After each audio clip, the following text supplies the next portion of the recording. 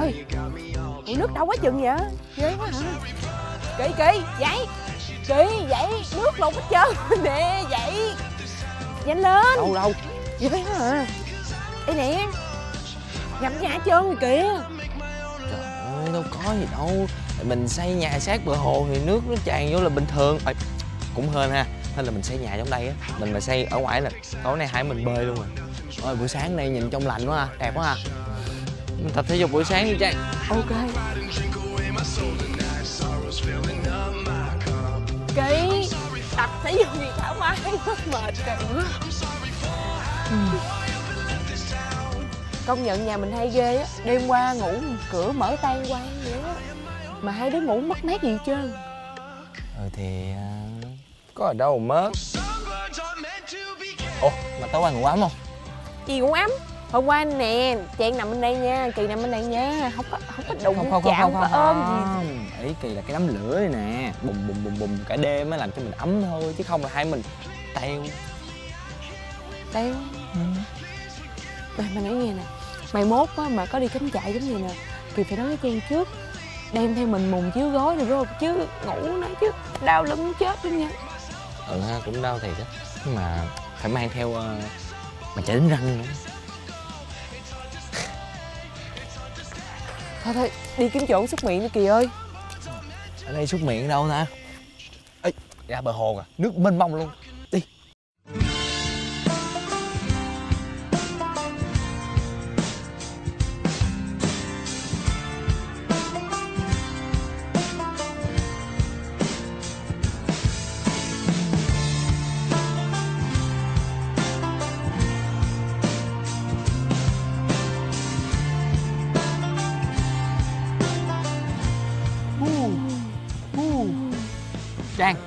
Hồ này á là cái hồ nhỏ nhất trong cái địa danh hồ Ba Bể này.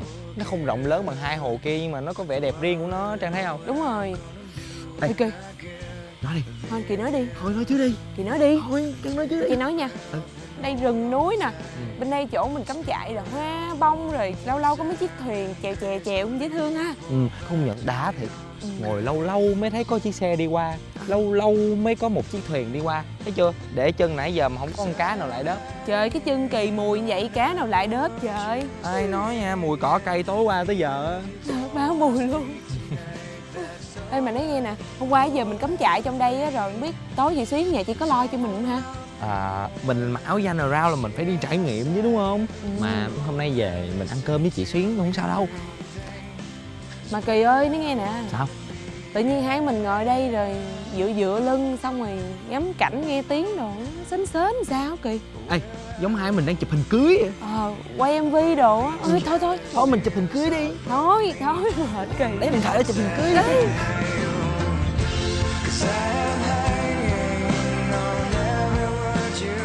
Lát nữa rồi về nói chị Xuyến bữa nào qua đây cắm trại chơi. Thôi mình đừng rủ chị xuyến ở đây cắm trại. Mình phải rủ chị xuyến ở đây cắm trại. Mới đúng À thì đi, đi về dọn lều Bây giờ vô á, hai đứa mình phải dập lửa rồi dọn rác rồi trả lại hiện trường cho người ta nữa Kỳ Trời, cái công tình mình làm từ hôm qua tới giờ mà Trang dám nói cái đó là đống rác á hả? Nhìn lại coi nó cũng kiên cố lắm chứ bộ. Ờ.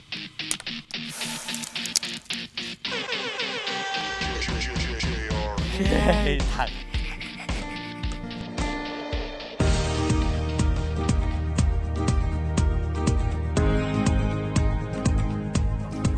Ôi chị Xuyến ơi, chị đang nấu gì đó chị Xuyến? Ờ, chị đang làm bánh em ơi. Đây cái đấy chị làm xong rồi đấy. Em ăn đi, rồi cái này chị làm mẻ mới.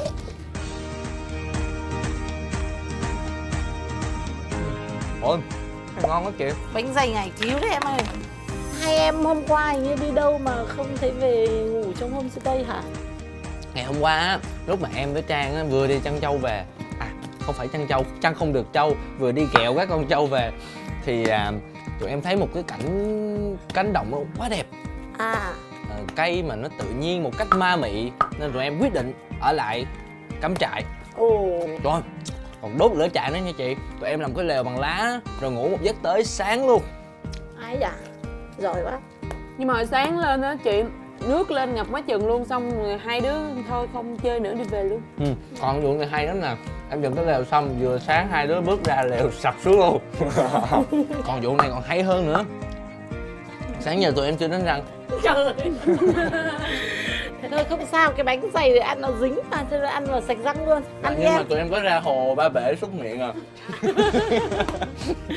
Thế thì ăn thì ăn nhiều vào Rồi, mà cái bánh này nó ngon thiệt luôn á. Bánh dày em nhớ bình thường màu trắng thì nhân đâu có nhân gì đâu chị. Đây là món của người tày mình hả chị. Cái này là người tây bằng cái lá ngải cứu nó móc ở cánh đồng ấy đi hái về sau đó đổ lên nấu nấu lên rồi bắt đầu xả nhuyễn với nhau. Dạ. Sau đó ở bên trong nó có nhân vừng lên. Dạ. Đây là gạo đồ lên giã nhuyễn như thành bột. Dạ khoan khoan chị. Chị, chị cho mấy bạn khán giả coi. Đó. đó nếp với ngải cứu. Đó dẻo vậy nè. Đó mà nghe cái lá ngải cứu nghe nó giống một cái loại thuốc trị bệnh đó chị đúng không? Đúng rồi. Đó, người ta làm thuốc rất tốt nhiều người họ hay đem về hầm với chim bồ câu hoặc hầm với gà ấy, ăn rất là bổ. Những người bị đau đầu là họ hay về hầm với gà. Cái lá này nó rất mát. Cái bánh này á khi mà mình ăn vô mấy bạn là khi nuốt vô rồi dậy ra cái mùi nó ra cái mùi nước sâm á nó giống cái cái lá thuốc mà bữa mình tắm á trang nhớ không không bữa đó tắm xong say say quá không nhớ gì trời ơi tắm xong đã cái là quên luôn. Ờ mà nhắc mới nhớ nha chị sáng giờ tụi em cũng chưa tắm luôn. Hai em ăn no chưa xong rồi đi tắm đi rồi lát nữa chị sẽ dẫn hai em đi thưởng thức âm nhạc của người tây trên này nhá. À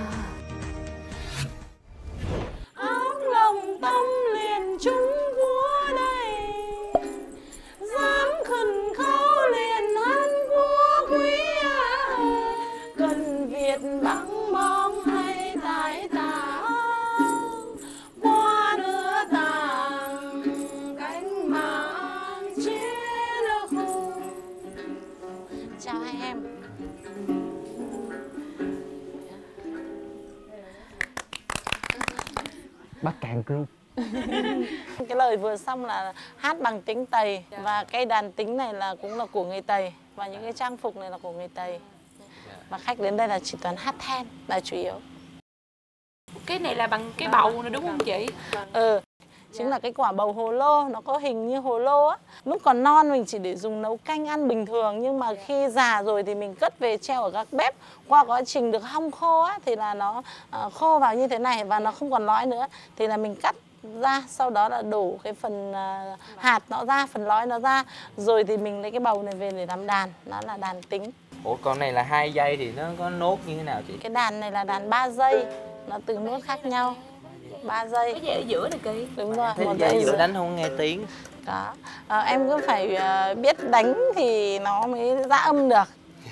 Đây nhá chị đánh thử cho em xem nhá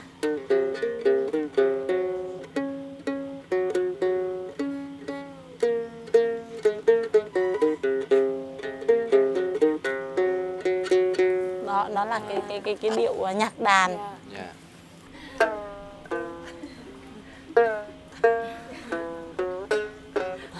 Cái đâu cái tiếng gì cái téo téo kìa vậy các bạn mà muốn đánh được đàn này thì các bạn cứ chịu khó lên tham quan hồ Ba Bể và có nhiều thời gian ở đây chị sẽ dạy các em chơi được đàn này. Dạ tất nhiên. Ngọt ngào như tiếng suối ngàn reo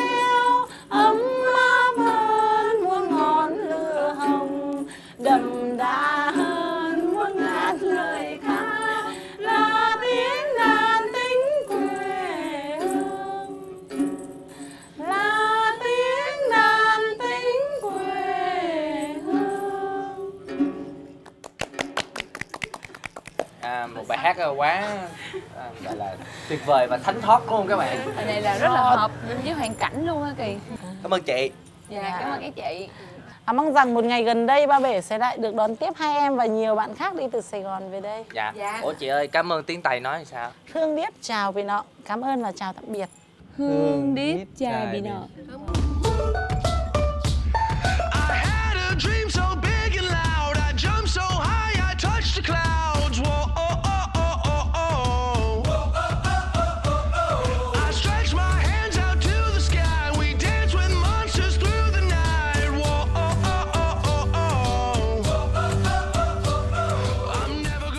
Kỳ và Trang đã có những ngày đông chơi khá là thú vị tại Hồ Ba Bể và hình như là thời gian trải nghiệm chưa đủ lâu để mà Kỳ và Trang có thể khám phá hết được không gian tự nhiên tuyệt vời ở đây. Đặc biệt là vẻ đẹp lung linh của Hồ Ba Bể với gần 650 ha hecta. Trang và Kỳ hy vọng rằng mình có thể quay trở lại đây không chỉ để ngắm vẻ đẹp của bình minh mà còn có thể ngắm hoàng hôn trên mặt Hồ Ba Bể. Ừ, mà quan trọng nhất á, là mình phải phục thù là tại vì Kỳ và Trang chưa cưỡi được con trâu trên đồng cỏ thì lần sau mình quay lại mình phải cưỡi được trâu trên đồng cỏ xanh rì sát bờ hồ Hồ Ba Bể không chỉ là niềm tự hào của người dân nơi đây mà bây giờ còn là niềm tự hào của cả Trang và Kỳ. Ừ, và Kỳ và Trang cũng mong rằng á, là những nguồn nước ngọt của chúng ta sẽ trong xanh và sạch như là ở hồ Ba Bể à, và đó cũng chính là lý do tại sao mà Kỳ và Trang hôm nay đã thiết kế ra một món quà lưu niệm để dành tặng cho người dân vô cùng dễ thương ở đây. Tặng chị. Dạ. Mà chị có biết cái này là cái gì không? Thế nè đó là thật ra nó nó là một cái thùng rác. Đó khoan khoan Còn còn khuyến mãi thêm cái này cho nó đẹp nữa nè chị. Đó em tặng chị Xuyến nha. Đây là rác của tụi em nãy làm xong rồi bỏ vô đây luôn Mình làm mẫu trước luôn á nha. Khoe quà của mình nữa Ơ, không để vậy Rao chào tạm biệt Bắc Cạn ở đây và hẹn gặp lại các bạn tại một điểm hấp dẫn khác nha.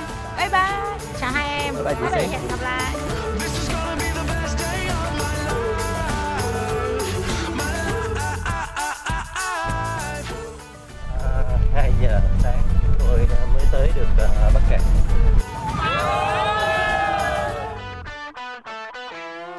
may mà chuyến bay của em hạ cánh an toàn ok bye thôi chị ơi cho em nấu được. Và dường như trên đường thì chỉ có một mình xe của chúng